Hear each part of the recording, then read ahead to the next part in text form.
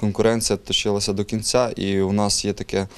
Е, ну, така категорія, яка називається абсолютна категорія, яку, в яку входять всі ті, хто перемогли в своїх вагових категоріях. І тому, якби, е, можна сказати, загадкою, хто ж займе перше місце, бо тривала до самого кінця змагань. От, ну, але все ж таки з невеликим відривом від команд ми посіли перше командне місце, друге місце посіла е, команда зі Львова і третє місце посіла команда з Луцька, там з невеличкими відривами.